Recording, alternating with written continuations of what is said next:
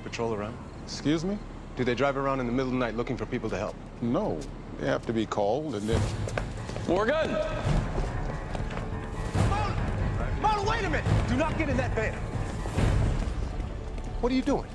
I thought you didn't need any help. He's gonna drive me to the park. Hey, how's it going, my man? I should go. Just slow down. What's your hurry? I got a lot of work. I should go. Sir, do you have a city employee ID? Look, I really don't have time for this. Yes, you do. ID, please. Morgan! Morgan! Out of the truck! Out of the truck! Get up! All right, all right. Don't hurt me. Don't hurt me.